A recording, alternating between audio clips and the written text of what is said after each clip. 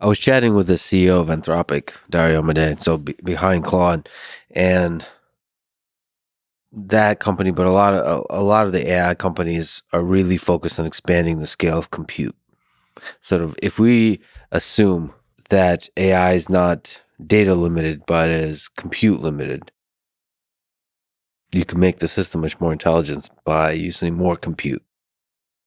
So let me ask you on the almost on the physics level, do you think physics can help expand the scale of compute and maybe the scale of energy required to make that compute happen? Yeah, 100%. I think this is like one of the biggest things that physics can help with. And it's an obvious kind of low hanging fruit situation where uh, the heat generation, the inefficiency, the waste of existing high level computers is nowhere near the efficiency of our brains. It's hilariously worse.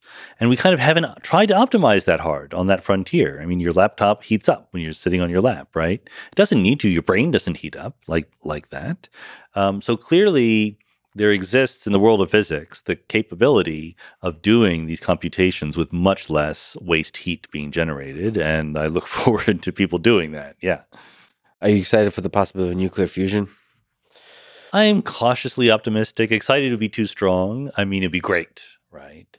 But if we really tried solar power, it would also be great. so I, I think Ilya Sutskever said this that the future of humanity on Earth will be just it, the entire surface of Earth is covered in solar panels and data centers. Why would you waste the surface of the Earth with solar panels? Put them in space. Sure, you can go in space. Yeah, space is bigger than the Earth. yeah, just solar panels everywhere. Yeah, just I like it. We already have fusion. It's called the sun. yeah, that's true. And, and there's probably uh, more and more efficient ways of catching that energy. Sending it down is the hard part, uh, absolutely. But yeah. um, that's an engineering problem. Yeah. So I just wonder where the data centers, the compute centers, can expand to if that's the future. If AI is as effective as it promise as it possibly could be, then it's the scale of computation will keep increasing.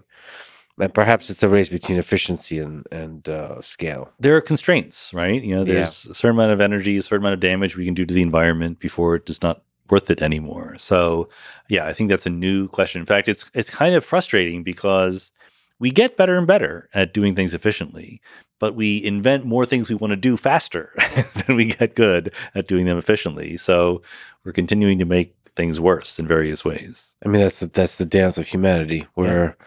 we're constantly creating uh, better, better, better technologies that are potentially causing a lot more harm, and that includes for weapons. Includes AI used as weapons. That includes nuclear weapons, of course. Which is surprising to me that we haven't destroyed human civilization yet, given how many nuclear warheads are out there.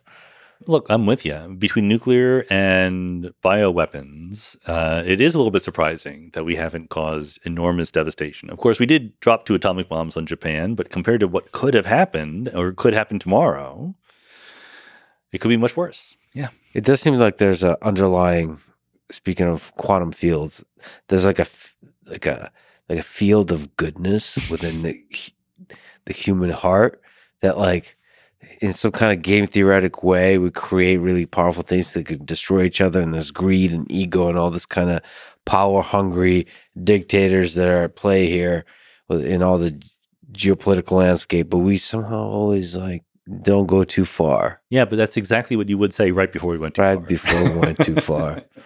And that's why we don't see aliens